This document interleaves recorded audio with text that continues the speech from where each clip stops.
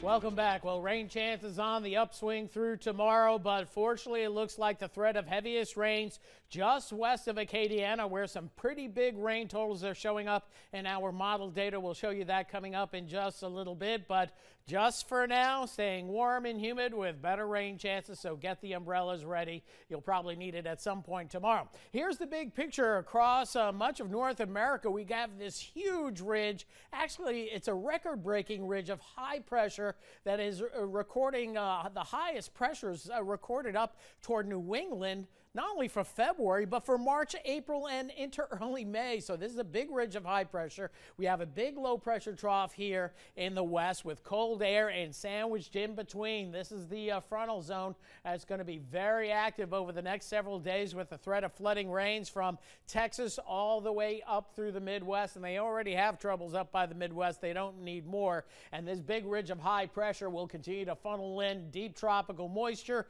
but it may also keep the strong strongest storms and the heaviest rains just west of Acadiana.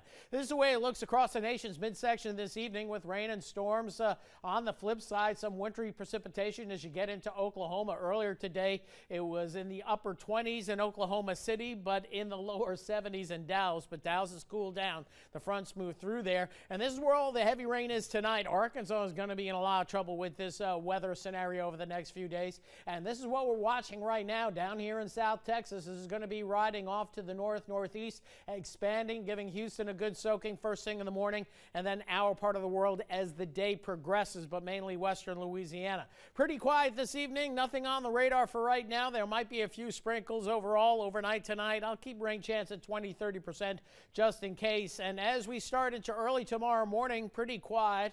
Uh, here we are at 8 o'clock, and this is when the showers and storms get cooking across eastern Texas and then southwest Louisiana. Very heavy rainfall rainfall western Louisiana. And this futurecast run really looks reasonable compared to the other models. So this is why we'll go with the 60% chance of rain locally. We will see scattered showers and storms moving on through. But look at the heavy rains that continue to train over the same area. This is going to be trouble for western Louisiana into the central and northern part of the state. And still pretty good rain chances pretty close by through 10 o'clock tomorrow night. But notice most of Acadiana not seeing the heavy stuff. And this is the way it may play out. Scattered showers and thunder showers may continue into Thursday. So give you an idea, this is a computer forecast, complete computer forecast, but it shows you how the rain chances will be much lower off to the east, much higher to the west as the day progresses.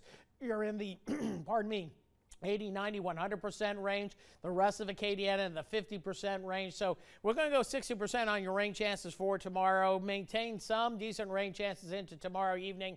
Uh, this activity is still too close for us not to keep the rain chances somewhat higher. So rainfall totals, this is where it gets interesting. Notice much of Acadiana not seeing much, but you get into Alexandria, Leesville, just north and west of Lake Charles, you're pushing five to seven inches of rain, and you localize that even more so with uh, the uh, four kilometer RPM model, uh, will show you very heavy rainfall. You get into the shades of pink right here, you're 10 inches or better. So uh, this is not saying it's going to happen, but it is a red flag that there's going to be some serious, very heavy rainfall. The possibility of flooding rain anywhere from southeast Texas into western Louisiana and possibly central Louisiana. And then on top of that, maybe even a marginal risk of a few isolated severe storms that could rotate and produce an isolated tornado tornado, perhaps damaging winds, but not for Acadiana at this point.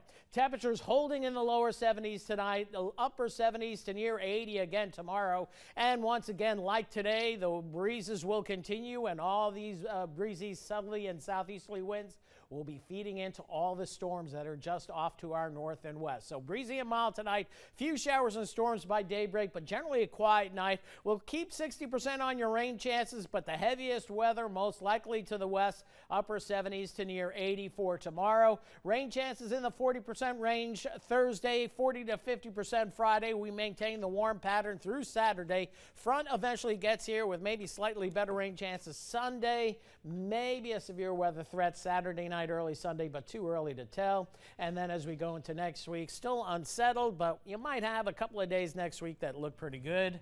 Tuesday and Wednesday are my days that I would pick if I were going to call in sick, take off, or not show up. Planning the idea now. yeah, right. Thanks, Rob. Still ahead on KATC.